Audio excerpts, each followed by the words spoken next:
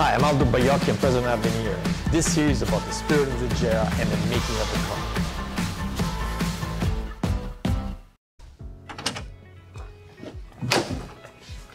car. Okay, Gabriel, let's see what you guys got. Uh, we have the first prototype practically completed. Please, guys. Roll it. Oh, wow. You see, this is in the version uh, on-road, with on-road tires and with the low ground clearance. I can sit on it, right? Everything Yes, works? of course, please. You can even do a test drive. So here we have everything. We have the dashboard. We have uh, the electric system practically completed.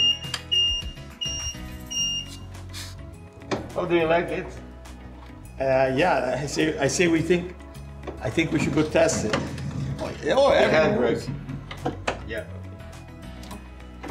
Yeah, this looks very good, guys. Great job.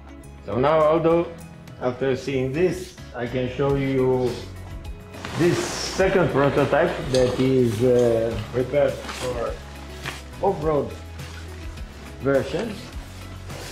Here, everything is work in progress.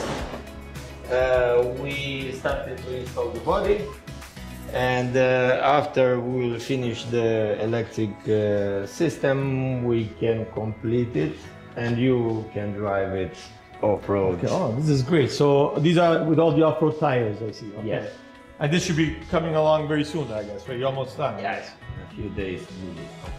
Okay, perfect. Yeah, I can't wait to try both of them outside. This is, uh, it is looking really good. Good job, guys.